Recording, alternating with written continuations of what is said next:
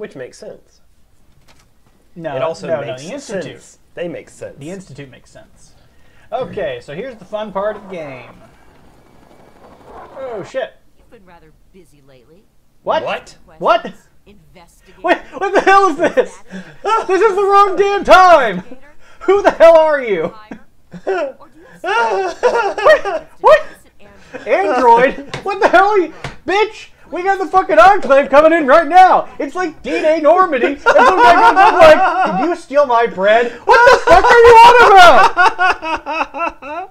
I think you're confusing with somebody else. Am I? Uh, look, this conversation is over. Step aside. Holy shit!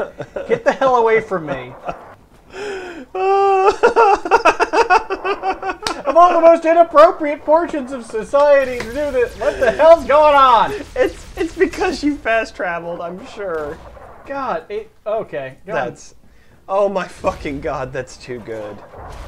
Chris, that's too good. It must be, because damn. Bitch, goddamn Liberty Prime is going out.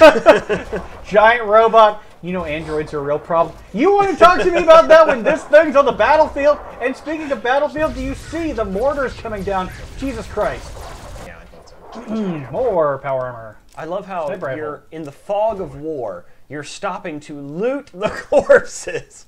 Some say that the lone wanderer was a virtuous feller. I remember him looting corpses in the midst of a battle.